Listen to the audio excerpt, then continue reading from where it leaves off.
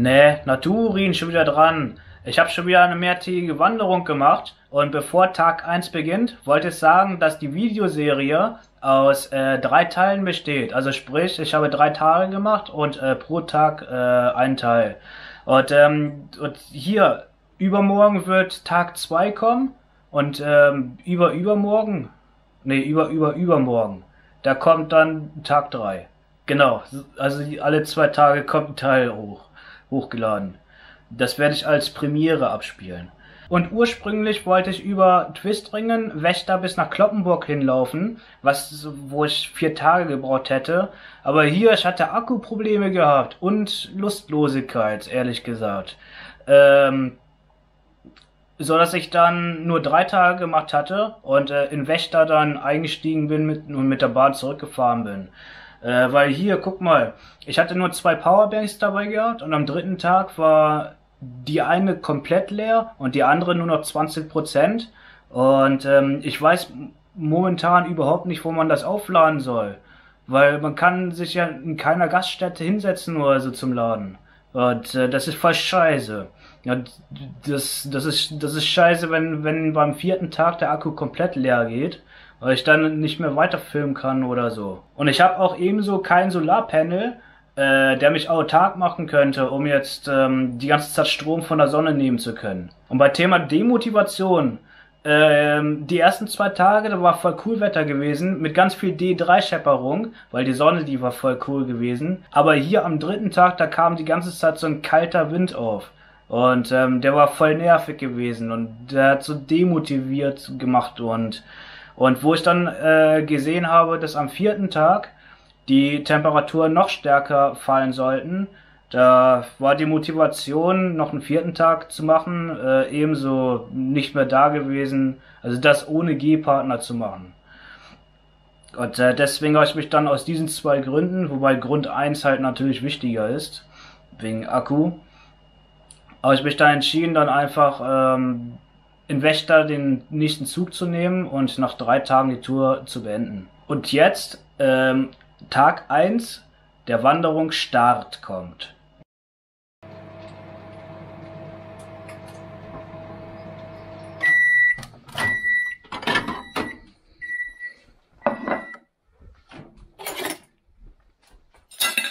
Nee, Naturin schon wieder dran. Ich bin gerade dabei, das Essen von gestern zu verspeisen. Und ähm, guck mal. Ähm, hier, da ist Sonne und morgen sollte auch Sonne sein und ich glaube übermorgen auch, wenn ich mich jetzt nicht irren sollte. Und deswegen, weil das Wetter voll cool aussieht, äh, dachte ich mir, nachdem ich das hier gefressen habe, äh, hier schon wieder eine mehrtägige Wanderung machen. Mit draußen pennen, mit, mit Zelt und so weiter. Ähm, mit, wie heißt das doch mal? Ja genau, ich dachte mir vielleicht drei Tage lang. Und äh, mindestens drei Tage lang. Und ich habe mir spontan überlegt, vielleicht nach Kloppenburg zu laufen, weil äh, hier, ich war da noch nie gewesen. Deswegen, deswegen mal prüfen, wie, wie das da aussieht. Deswegen laufe ich da lang. Äh, aber weil Kloppenburg vielleicht nur 70 Kilometer von mir entfernt ist, also bis zum Kloppenburg Bahnhof, äh, so ungefähr, äh, ist das für mich viel zu wenig für eine Dreitageswanderung. Und deswegen mache ich das in Umwegeform. Ich dachte mir hier vielleicht über Süg und Twistringen und Wächter zu laufen. So ein bisschen Umwegeform. Damit, damit die Kilometeranzahl größer wird. Und damit ähm, ich mehr laufen kann und so weiter. Genau. Ich glaube, genauso mache ich das. Und von daher äh, werde ich das hier jetzt erstmal auffressen und danach ähm, wandern und dann, ja, und dann wisst ihr Bescheid, was gleich passiert. So, ich habe gerade mein Essen sowas von ich, mich vollständig reingeschoben. Und äh, hier, guck mal. Oh Scheiße, es ist schon 13 Uhr. Äh, das ist viel, viel zu spät. Ich wollte noch viel früher los. Äh, das liegt daran, weil ich bin erstmal um halb zehn aufgestanden. Ich musste duschen, Zähne putzen, mal die ganzen Sachen einpacken. Und äh, hier Anträge ausfüllen für das Jobcenter. Es hat voll viel Zeit gefressen, weil das so viel Papierkram war. Deswegen musste ich das machen. Äh, also beziehungsweise wollte ich das erledigt haben. Und, äh, aber jetzt äh, hier, ihr wisst schon äh, Bescheid, was jetzt passiert. ich werde äh, diese Sache hier runterbringen Ähm, genau, mein Wagen mit mein, meiner Tasche. Und dann, wenn ich unten bin, dann Wanderung und und wenn ich das dann, äh, wenn ich unten bin und den Wagen aufgebaut habe, dann Wanderung Start kommt. So, der Wagen ist aufgebaut und ich bin draußen und ich merke, es ist voll cool Wetter heute. Und deswegen, weil heute voll cool Wetter ist, äh, gehe ich hier zu diesem äh, verschmierten E-Center, um dort Bier und noch mehr Sachen kaufen zu gehen. So, ich bin bei diesem verschmierten E-Center und jetzt werde ich Bier und noch mehr Sachen kaufen gehen. So, ich bin einkaufen gewesen und äh, hier, ich habe drei Bier gekauft, äh, drei Träger. Ähm, und ich habe äh, heute wieder voll Bock drauf auf Frikadellenbrötchen. Also habe ich hier äh, äh, fünf Brötchen geholt. Ähm, Weißkraut. Ein bisschen hier Hamburger Soße. Ein paar Frikadellen und alles andere habe ich schon. So, die Sachen sind gepackt. Jetzt erstes Bier aufmachen. Und jetzt Wanderungsstart kommt. So, ich bin äh, hier an dieser Weserwehr äh, ähm, angekommen. Also da, wo äh, hier vorne Wasser runterfällt. Und ähm, guck mal, da ganz hinten, da ist Rohr mit Dampf oben drauf. Und jetzt muss ich über diese Weserwehr, also da, wo Wasser runterfällt, äh, rüberlaufen. Ich bin schon wieder hier an dieser Stelle hier angekommen. Ihr wisst schon, was hier passiert, oder? Das habe ich hier ähm, euch schon mal erklärt gehabt. Guck mal, da vorne ist schon wieder so ein Naturschutzgebietsee. Also da, wo diese ganzen Vögel und sowas drauf äh, sitzen und rumschwimmen und ja, hochfliegen und runterfliegen und auf dem Wasser rauffallen. Genau, das ist da vorne. Äh, guck mal, da drüben sind Schiffe und Boote und sowas.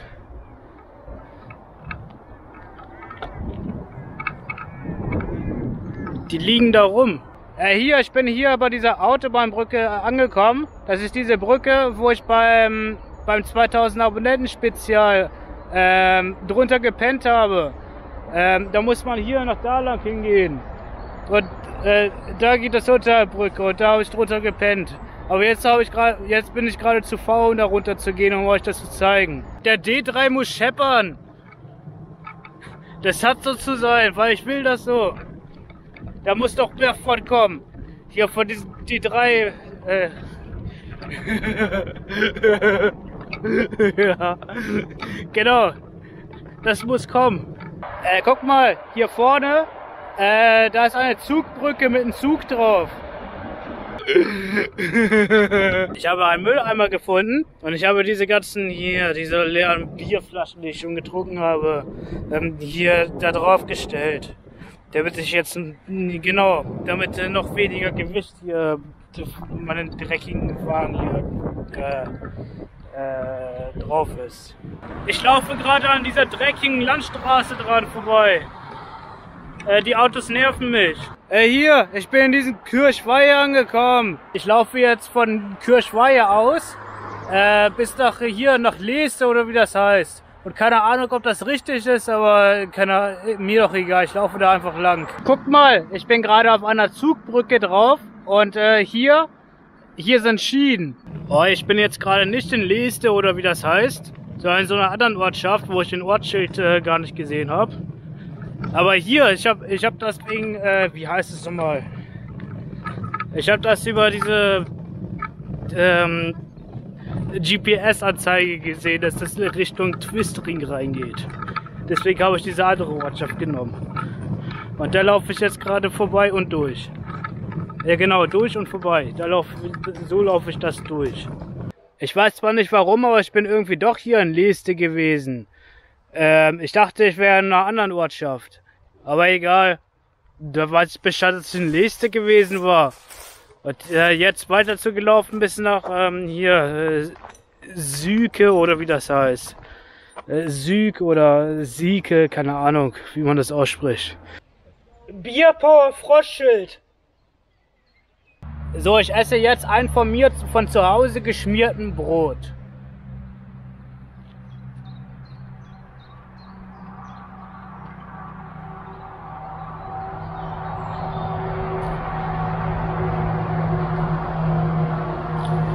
Das ist Brot mit Butter, Käse und ähm, und so ein Blattsalat. So ein Brot ist das. Äh, hier, guck mal. Ich habe hier einen Zettel aufgeschrieben, wo ich überall langgehen äh, tue.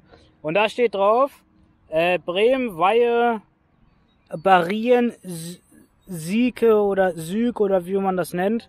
Warte, guck mal, hier steht drauf, äh, Barien, äh, zwei Kilometer. Aber hier vorne steht drauf, äh, Sieke oder Süg oder wie, wie man das nennt, hier fünf Kilometer drauf. Und ähm, na egal, ich, ich laufe glaube ich nach Süg einfach, einfach diese Seite nach da lang. Äh, da lang laufe ich jetzt lang. Genau, das mache ich jetzt.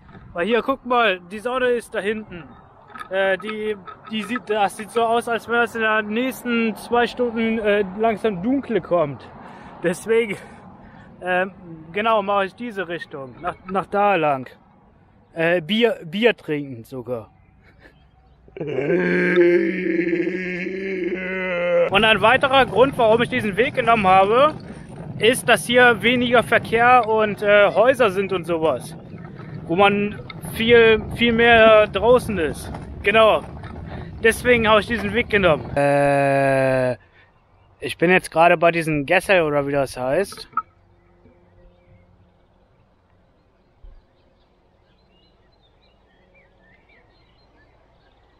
Ja, genau, Gessel. So, ich bin jetzt gerade bei diesem Sieg oder Süke oder wie, diese Ortschaft heißt. Und, ähm, und äh, hier, guck mal. Äh, langsam Sonnenuntergang. Langsam bald Dunkle kommt. Das heißt, dass ich äh, hier diese, durch diese Ortschaft durchgehe, dann irgendwann rausgehe und wenn noch mehr Dunkle kommt, dann ähm, dann nach einem Wildcamp-Zeltplatz suchen gehen. Genau so mache ich das jetzt. Ich habe meine ganzen zuletzt getrunkenen Bierflaschen, äh, die leer sind, auf diesen Sika oder Syka mm, Mülleimer draufgestellt. Extra damit das geupdatet aussieht. Ja genau, damit das höher aussieht, so, so, so wertvoller und so weiter. Deswegen habe ich das da drauf gestellt. Weil jetzt so wenig Sonne ankommt, habe ich schon wieder meinen Bier-Power-Tanktop an. Guck mal, da ganz hinten, äh, die Sonne geht runter, langsam immer mehr Dunkle kommt. Ja, dieser Sonnenuntergang oder Dämmerung oder wie das heißt. Äh, das kommt gleich. Also das kommt jetzt gerade. Das passiert jetzt. Und ähm, ich muss ein Waldstück finden oder suchen. Ja, suchen und finden. Äh, damit ich dann gleich ähm, hier mein Wurfzelt aufbauen kann. Hier so ein Wildcamp-Zeltplatz muss ich suchen. ja! Ja! Hier, ich bin gerade so einen halben Kilometer oder so diese Straße hier gelaufen. Äh, pur. Und jetzt äh, nicht mehr pur, weil hier vorne ist so ein Gehweg, wo ich drauflaufen kann. Deswegen laufe ich jetzt gerade auf diesen Gehweg drauf, der hier für mich bereitstellt.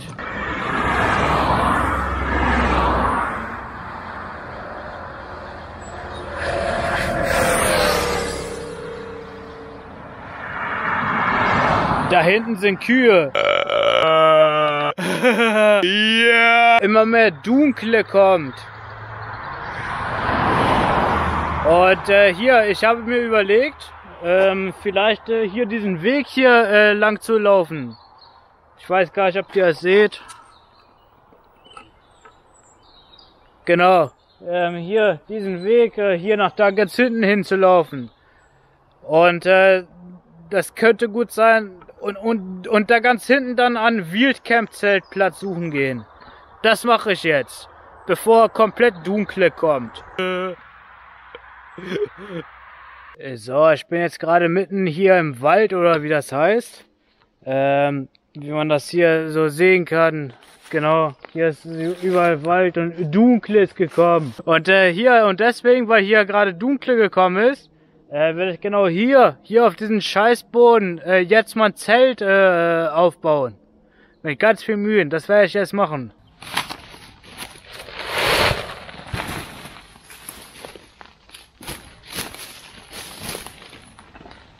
Mein Wurfzelt ist erfolgreich aufgebaut. Genau. Und äh, guck mal, ich habe hier mein Zelt aufgebaut. Ähm, so sehen meine ganzen Zeltinnereien aus. Genau. Wie immer eigentlich. Und, äh, und darauf, dass ich jetzt gerade hier in diesem dunklen Wald bin, so ganz alleine, wo nichts ist und sowas, außer, außer Wald, ähm, werde ich jetzt äh, hier entspannt mein Bier trinken. Äh, hier ein neues Bier aufmachen, meine ich jetzt, genau. So, ich werde jetzt Bier trinkend beginnen, äh, diese Frikadellenbrötchen zu machen. Ähm, und zwar hier. Ähm, wie heißt es nochmal? Das muss erstmal aufgehen. Äh, hier mit diesem Spiritusöl rein. Ähm, ja genau, mit Spiritus. Jetzt anzünden. Jetzt diese, diese ähm, Pfanne drauf machen. Und jetzt äh, hier, hier diesen möchtegern Butter drauf machen. Und jetzt eine Frikadelle drauf machen. Und, und warten, bis Brat kommt. Und solange noch Brat kommt, äh, werde ich hier noch, äh, werde ich hier Brötchen aufmachen.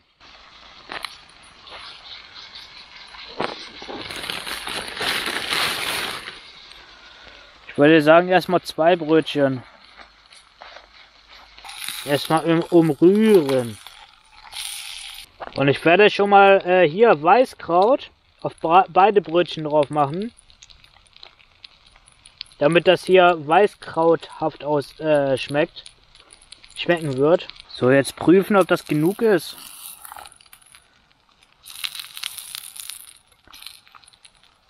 Ich glaube, ich lasse das noch, noch eine Minute so, so, so stehen. Und gleich nach einer Minute ist diese Frikadelle fertig.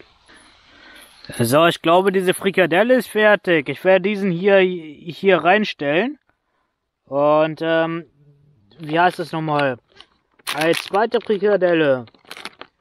Weil ich will heute zwei Brötchen fressen. Die werde ich jetzt hier reinstellen. Damit der auch genauso brät wie diese andere Frikadelle. Wie die erste Frikadelle. Und für die erste Frikadelle ähm, werde ich erstmal, genau, äh, hier, äh, äh, ha Hamburger Soße.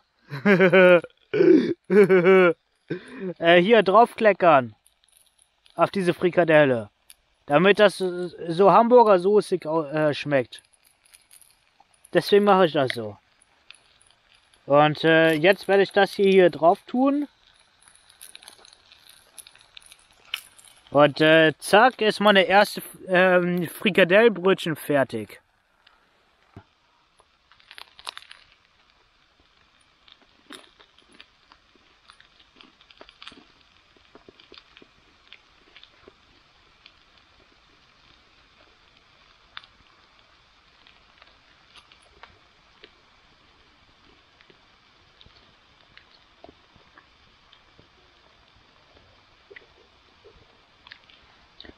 Das schmeckt voll cool, ich mag das.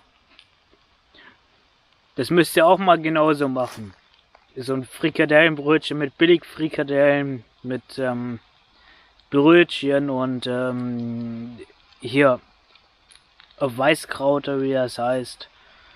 Und ah, hier, Hamburger Soße habe ich auch drauf gemacht, genau.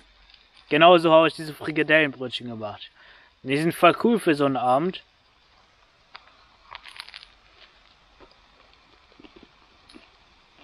So, das hier ist fertig geworden.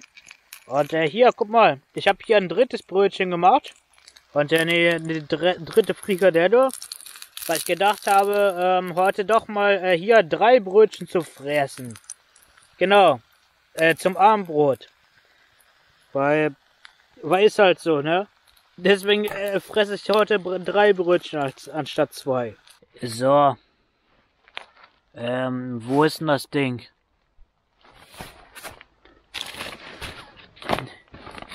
Ah, hier. So, ich habe jetzt mit diesem Klebeband, also Universalband heißt das, äh, hier das hier zugemacht, damit ähm, das nicht wie beim letzten Mal dieser Weißkraut oder was das ist, dass, er, dass der nicht ausläuft, dieser Wasser von dem hier. Das, deswegen habe ich das hier zugemacht. Genauso wie meine Frikadellen hier. Mit diesem Tape. Mit dem Universalband. Und darauf werde ich äh, hier weiterhin Bier trinkend ähm, hier hier auf diesem ranzigen Stuhl hier rumsitzen hier bei dieser bei diesem dunklen Wald oder was das ist hier. Und hier äh, diese Kilometeranzahl habe ich gemacht äh, heute 27,8 Kilometer. Und äh, ich will da so einen bestimmten Test machen, deswegen werde ich das hier einmal, kom einmal komplett stoppen. Weil man kann ja diese GBX-Dateien äh, runterladen und äh, weiterverwerten und so weiter. Und deswegen mache ich das jetzt komplett stopp, anstatt irgendwie weiter zu lau laufen zu lassen. Und werde morgen dann eine neue Aufzeichnung beginnen. Das mache ich dann. So, ich bin jetzt im Zelt drin und ich glaube, ich werde mich so langsam schlafen legen. Ich würde sagen, gute Nacht, bis morgen.